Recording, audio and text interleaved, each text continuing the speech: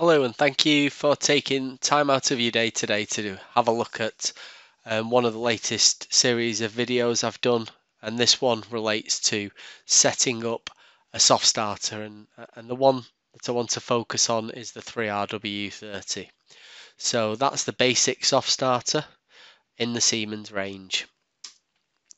So on this next slide, it just gives you a bit of an idea for um, the schematic of the product, um, how it's actually designed, and and the terminal layout. And as you can see on the front of the device here, you've got a pictorial, and uh, and, and basically what that indicates is that it's a it's a two-phase control device because um, you've got two hybrid elements, one on each phase, and then you've got a straight through connection on the on the middle phase. So on a, on a hybrid device, you always have these two anti-parallel thyristors and a mechanical bypass but there's two different options you can either have a two-phase control device and that would mean there'd only be two phases that are controlled by the hybrid element or you could have three-phase control and that would mean all the phases have the anti-parallel thyristors and the mechanical bypass contact integrated but why would you choose a two phase device over a, a three phase?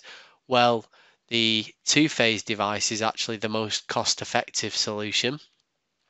And also, if you have um, a requirement for space saving inside of your control cabinet, then the two phase device may be the better option.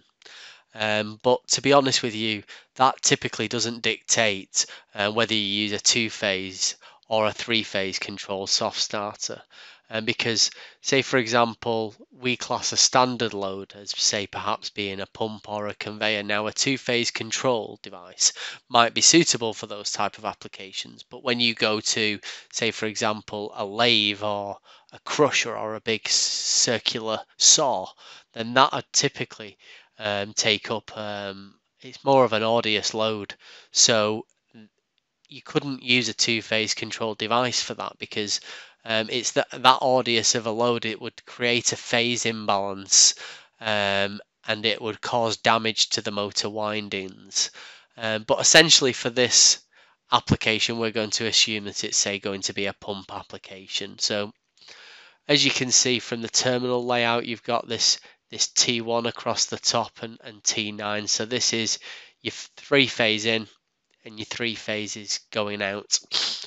This one that's labeled number two is for your control voltage. Terminal 1 is for the input signal. So for the soft starter to actually turn on and off, the control voltage has to be initiated, but at the same time, terminal 1 also has to be um, activated also. And then we also have an open and closed contact on number 13 and number 14 and the two pots which you have to configure on the front of the device are as you can see here you've got number seven. Number seven is the time that it takes for the voltage to reach the full line voltage. And you can just about make it out on that pictorial. You can select from zero seconds right the way up to 20 seconds. And then on this final pot on number eight um, this is actually the pedestal voltage, commonly known as the startup voltage. So say for example, the typical voltage in the UK is 400 volts and you set that to that pot to 50%, it would initiate the voltage at 200 volts. And based on what you've set this pot to, it would take X amount of time from that 200 volts to reach the full line voltage of say 400 volts. So on the next slide, um, this just gives you a view of a typical um, soft starter layout. So firstly, let's take a, a little glance at this, this main circuit. So you've got your three-phase supply coming in. Um, on this particular device, it's assumed that you would would use a motor starter protector. Um, so a motor starter protector would be um, something that has integrated short circuit protection and it also has thermal overloading as well. So that thermal overload will protect the cables and it'll also protect the motor from overheating as the 3RW30 doesn't have um, an overload functionality in it. So a typical configuration if you was trying to achieve type 1 coordination would be by using a motor starter protector.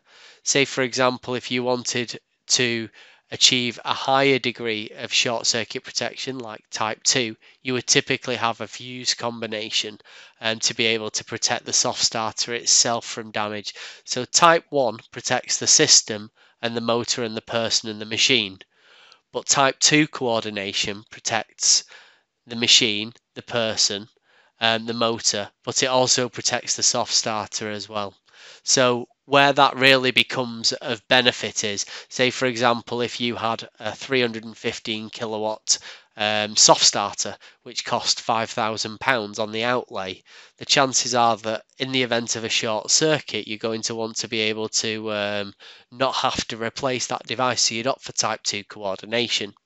Yet, if you was going for um, a 5.5 kilowatt device, which um, would typically cost around, say, £100, then you would perhaps consider using type 1 coordination because the fusing would probably cost more than the actual soft starter itself. And on this diagram on the left hand side you can see here this is just an explanation of the uh, of the control circuit and, and, and how it would typically operate so as I mentioned on the slide previously um, what you'd have is you'd have um, a connection going in and out of the A1 and the A2 terminals. So that's the, the control signal.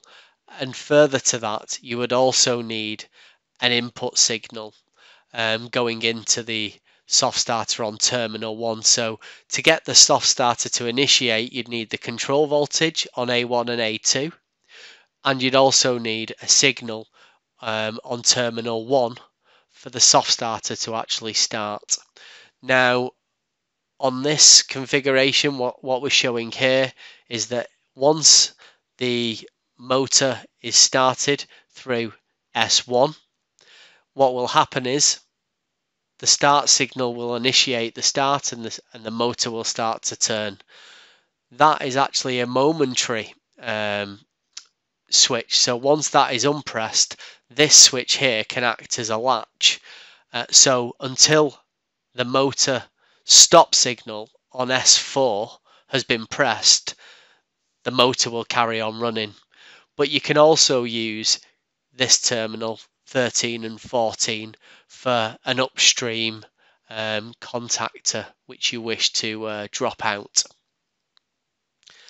So that pretty much gives us a, an idea as to the general operation of the soft starter, but how do you actually come up with the parameters for the actual soft starter?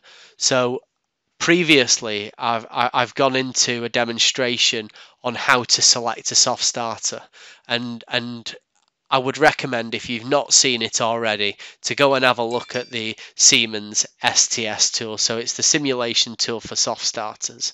So if you go into the calculator, you can see here you can input information in terms of the environment, the motor and the supply, and then it'll give you an array of soft starters which are suitable for your application. But what we're really interested in to set the device up is to know um, the actual application parameters. And there's a tab in the calculator called application parameters. So here you have the option to turn this current limitation function off and you can actually play and toggle around with the starting voltage which is one of the pots on the front of the 3RW30 and the ramp up time to get a feel for what you need to set those starting parameters to before you've even bought the device. So the idea is that once you've bought the device, you can set the pot, the starting voltage, to say 70%, and you can set the ramp up time to three seconds, and then you can rest assured that you know that that selection is going to work based on the simulation which you've run in the Siemens STS tool. Now, another great feature of the device is that or of this simulation tool is that once you've selected a device that you're happy with, it will then give you um, a commission, a recommended commissioning process, and you can get that by clicking on report, giving it a project name, and also deciding on whether you want feeder mains components. Now, I mentioned earlier that that a soft starter it can have an integrated overload or you can have a soft starter without an integrated overload. Now, in the case of the 3RW30, it doesn't have an integrated overload. Um, it's it's a fairly low kilowatt size. It's 5.5 kilowatt, the device that we've selected. So we could probably get away with their type 1 coordination. And the reason why we'd go with type 1 coordination is that the, it offers you a motor starter protector and a motor starter protector has short circuit and it has an overload integrated into the unit. So once you click on generate report here it will then provide you a suggested um, short circuit protection. So let's just have a little look now at the generated report so as you can see here, it gives you an array of information in terms of all your input data.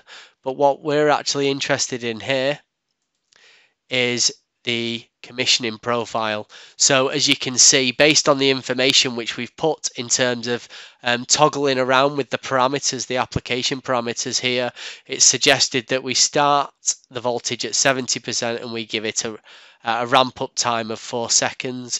It suggests an optional line contactor that isn't required. Um, you might require it if, say, for example, you were using a standard soft starter integrated into a safety circuit. And as you can see here, it even suggests the type of motor starter protector that you'd want to use, which covers you for your overload and also for your short circuit protection. And finally, here it gives you um, an explanation of the data accuracy of, of, of the of the product which you've put forward.